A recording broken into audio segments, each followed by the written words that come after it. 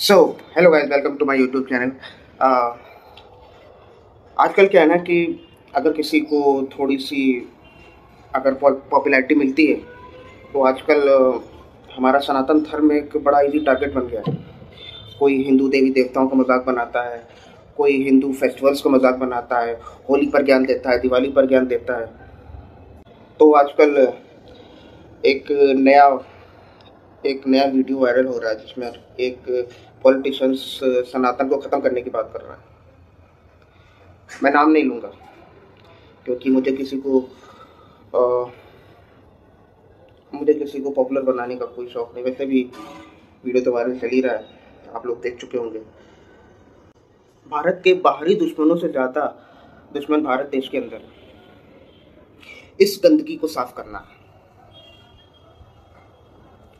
इस तरह की गंदगी कोई ना करे तो इन जैसे लोगों को सबक सिखाना बहुत ज़रूरी है। मुझे नहीं पता कि ये इतनी बड़ी बात बोलने के बाद भी अभी भी कैसे खुला घूम रहा है। क्यों हमारी गवर्नमेंट कोई एक्शन नहीं ले रही इसके खिलाफ? क्यों खुला घूम रहा है इन सब चीज़ों पर जब तक कड़ी कार्रवाई नहीं होगी, इस तरह की चीज़ें चलती रहेंगी। मैं और कुछ भी कहना नहीं चाहता।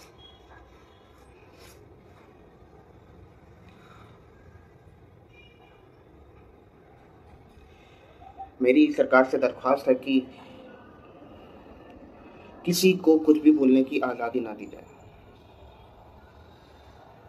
मैं चाहूँगा कि इसके खिलाफ कड़ी से कड़ी कार्रवाई